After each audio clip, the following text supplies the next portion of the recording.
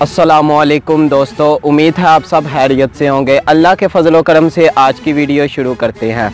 بہت سارے لوگ مجھ سے پوچھتے ہیں کہ بھائی جان، ہم سبز عقیق کس دن پہنیں؟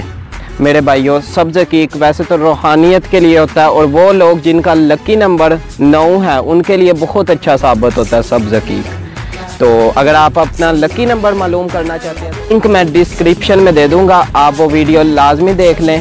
تو جون سا افراد سبز عقیق پہننا چاہتے ہیں، ان سے میں یہ کہوں گا کہ سبز عقیق آپ جمعہ رات کو شام کے وقت پہنیں۔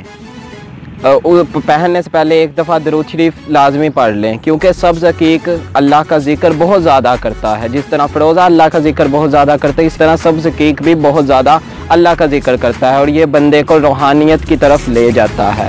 تو آپ درود شریف پڑھ کر وہ سبز عقیق جمعہ رات کو پہن لیں۔ یہ تھی ہماری مختصر سی ویڈیو۔ اگر آپ کو اچھی لگی ہے تو براہ کرم لائک کر دیں اور چینل پر نئے ہیں تو چینل کو لازمی سبسکرائب کر دیں۔ شکریہ۔